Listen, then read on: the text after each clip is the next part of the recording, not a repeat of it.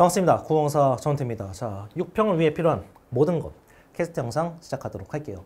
자, 세 가지 얘기를 하려고 하는데 음, 일단 내신 공부 열심히 하고 이제 다시 수능 모드로 여러분이 돌아가야 되는데 빠르게 수능 모드로 돌아가기 위해서 수능 감각을 찾는 그 방법을 첫 번째 안내할 거야. 두 번째는 시험장에서 아, 이 풀이 시간을 확보해야 되거든요.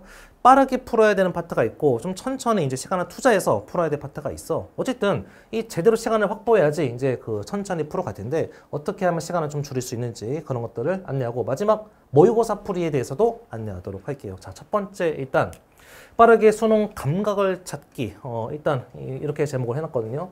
지금 이 순간 여러분에게 가장 필요한 게 쌤은 바로 이거라고 봐. 음, 여러분이 내신 공부할 때 철저하게 작품 해석 중심으로 공부를 했거든요. 이 구절의 의미가 이거구나. 아, 이 구절은 이렇게 해석되는구나. 이런 식으로 작품을 해석하는 이 학습을 여러분이 내신데 집중적으로 한 거야. 그러면 내신 시험 잘 봤으면 이제 그거는 좀 놔도 돼. 왜 놔도 되냐? 내신과 수능에서 이 물어보는 방식이 다르거든. 수능은 이렇게 물어봐. 여러분한테 자 이거 해석해봐 라고 물어보는 것이 아니라 야 내가 이거를 이렇게 해석을 했어. 출제자 해석을 던져줘. 그리고 내 해석을 너, 너네가 허용할지 말지를 판단을 하라고 요구하거든. 해석은 여러분이 하는 게 아니야. 여러분은 출제자의 조건에 맞춰서 출제자 해석을 허용할지 말지를 판단해 줘야 돼. 그럼 판단하기 위해서 뭐가 필요하니? 기준이 필요하잖아. 딱 이 선을 딱 잡아서 아, 요 정도는 내가 허용하고 요 정도는 허용하면 안 된다는 요 기준, 요 기준을 갖고 여러분 이제 빠르게 판단을 하는 거. 이게 바로 수능에서 여러분에게 요구하는 거거든. 따라서 요 감각을 최대한 빨리 찾기 위해서 여러분은 무엇을 해줘야 돼? 당연히 기출을 다시 풀어야겠지.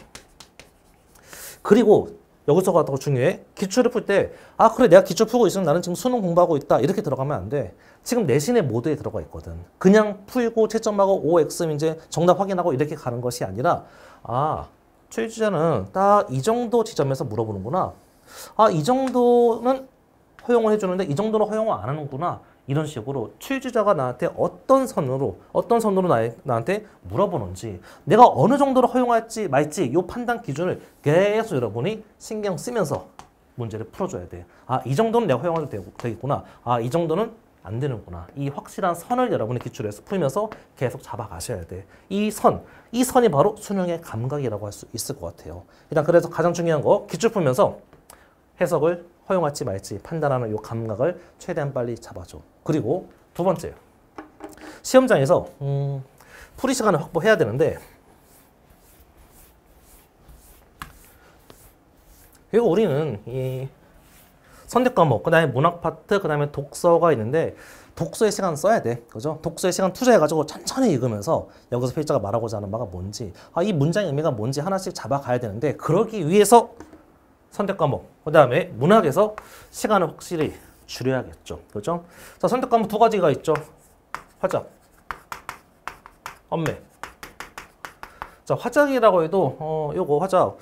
이 평소에 무시하다가 6평 화작의 난이도에 탈탈 털리는 학생들이 상당히 많거든요. 교육청이랑 그 평권이랑 화작에서 물어보는 난이도가 좀 달라. 평가는 선지에서 굉장히 디테일하게 좀 집요하게 요구하는 부분이 있거든.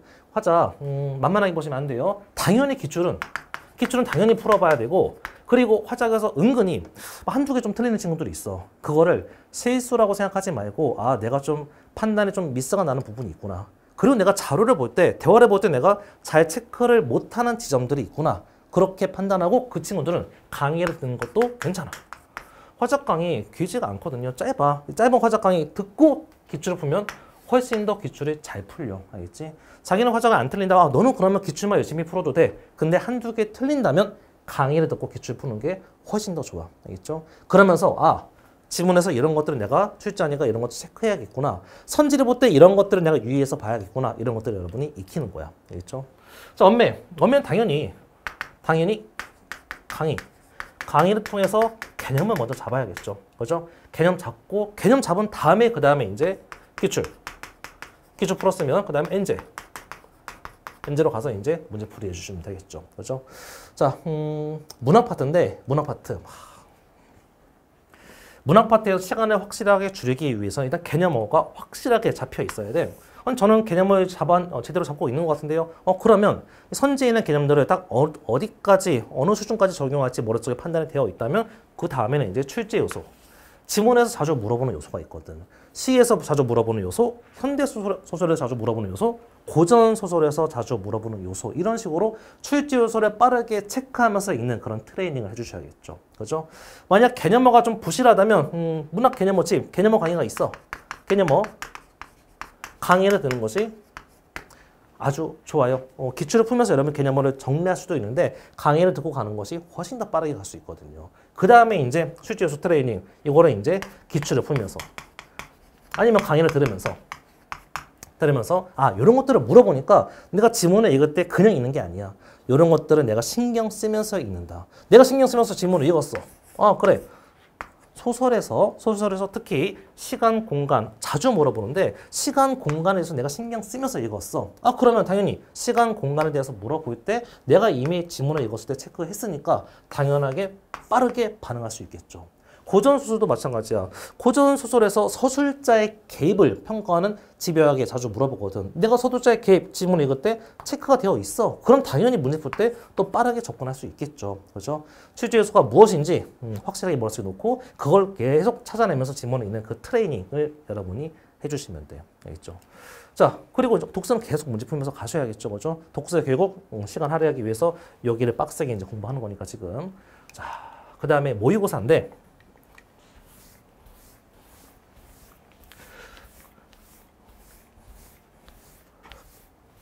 모의고사는 일단 첫 번째 그 앞에 거가 일단 선행이 돼야 돼.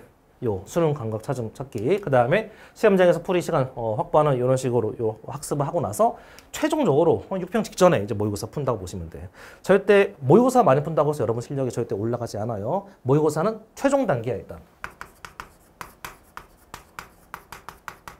최종 단계고 그 다음에 이 한 2, 3회 정도 이 정도 분량 풀어주면 되지. 이걸 계속 이제 그래 6평에 다가오니까 하루에 한 개씩 푼다. 절대 그렇게 시간 낭비하지 마. 알겠죠? 모의고사 풀면서 음, 시간 낭비하지 말고 딱 2, 3회 마지막으로 풀어본다는 생각으로 가시면 되는데 일단 가장 중요한 거. 철저하게 시험장이라고 생각하고 문제를 푸세요. 모의고사를 푸는 이유가 딱 이거야. 시간 관리. 시간 관리와 세전 연습이거든. 여러분 6편 보다가 혹은 수능 보다가 갑자기 배가 아플 수도 있거든. 그럼 배 아프면 어 선생님 또 잠깐 배 아프니까 잠깐 쉬었다가 볼게요. 이게 말이 안 되거든. 시험장에서는 내가 통제할 수 없는 무엇인가 항상 일어날 수 있고 그 변수를 여러분이 미리 만나는 거야. 만나서 철저하게 시험장처럼 문제를 풀어주셔야 돼. 딱 시간 재고, 시간 재고, 아 그래 여기부터 여기까지 다 풀 때까지 내가 절대 이 공간에서 벗어나지 않는다. 그런 생각을 가지고 이제 문제를 풀어야 돼요. 어? 선생님 문제 푸는데 자꾸 옆에 가 따가따가 소리를 내가지고 짜증나가지고 저 집에 가서 문제 풀려고 이제 스타버치 멈춰서 집에 가서 풀었어요. 그거는 그거는 모의고사 연습 제대로 한 게 아니지. 옆에서 딱딱거리는 그 소리를 들으면서 그래 저 소리는 하늘이 나에게 부여한 시련이구나. 그래 이 시련을 내가 이겨야지 수능 시험장에도 저런 시련을 만났을 때 내가 잘 풀겠지 하고 그리고 이겨내야 돼. 알겠죠? 풀이가 끝나기 전까지는 절대 스타버치 멈추지 말고 잠깐 배고프니까 뭐 먹고 할까? 수능 시험장에서 그렇게 할 수 없잖아. 그죠? 철저하게 시험장처럼 문제 풀어줘야 돼. 알겠지? 그러면서 아 내가 여기까지 풀었을 때 몇 분에 도달해야 되겠구나. 여기까지는 몇 분에 도달해야겠구나. 이런 식으로 여러분이 시간 관리하면서 문제 풀어주면 돼. 그리고 그냥 푸는 게 아니야. 완급 조절하면서 풀어주셔야 돼요. 선택 과목, 그 다음에 문학, 독서 이렇게 있을 때 본인마다 조금씩 달라. 이 절대 내가 시간을 선택 과목 몇 분에 풀어야지 이런 건 절대적인 수치는 없어. 알겠죠? 본인이 딱 정한 어떤 수치가 딱 있을 거예요. 그죠? 그 정도 수치 맞추고 문학. 문학은 좀 빠르게 푼다. 좀 빠른 호흡으로 푼다는 생각으로 풀고 독서는 좀 천천히 푼다. 이런 느낌으로 갔으면 좋겠어요. 왜냐하면 독서는 사실 지문에서 음, 해야 될 게 많아. 페이지가 나한테 말하고자 하는 게 뭔지, 문제의 원인이 뭔지, 해결이 무엇인지 이런 식으로 여러분이 체크할 게 많고 지문을 이해해야지 문제 풀 수 있거든. 근데 문항은 달라. 지문을 우리가 완벽하게 이해할 수는 없어 사실 그죠? 지문을 완벽하게 이해는 못했지만 그래 일단 문제 가보자. 취지자가 이 지문에 대해서 뭐라고 해석했는지 일단 가보자 라고 해서 지문을 완벽하게 해석하지 못했지만 문제로 가서 여러분이 판단해 주면 되는데 독서는 이해가 제대로 안 됐으면 아예 판단이 안 되는 거야. 당연히 그래서 독서는 천천히 가면서 가고 문항은 좀 빠르게 가는 것이 이 기본적인 호흡이거든요. 근데 여기에 말처럼 쉽게 되지 않아. 시험장 가면 여러분 독서 문제 풀 때도 같이 문항과 똑같이 빠른 호흡으로 풀 때가 있거든. 그러니까 자꾸 미스가 나고 지문이 평소 다르게 눈에 안 들어오지. 그죠? 독서는 좀 천천히 간다는 생각으로 하고 문항을 좀 내가 빠른 호흡으로 문제를 푼다는 생각으로 여러분이 완급 조절하면서 모의고사를 풀어줘야 돼. 그래야지 모의고사 풀면서 여러분이 얻을 것을 다 얻는 거야. 시간 관리, 실전 연습 이런 걸 다 하는 것이죠. 알겠죠? 자, 음, 6평 계속 다가오고 있고 아마 이제 3월, 4월 그 시험과 다른 드디어 평가원 시험이라는 요 이제 그 설렘, 긴장 이런 거 어, 여러 가지가 있을 텐데 6평 음, 잘 보면 좋아요. 하지만 못 보면 또 기분이 또 상하지만 우리의 첫 번째 나의 실력을 이제 그 테스트하는 첫 번째 시험이라고 생각해 주시면 좋을 것 같아요.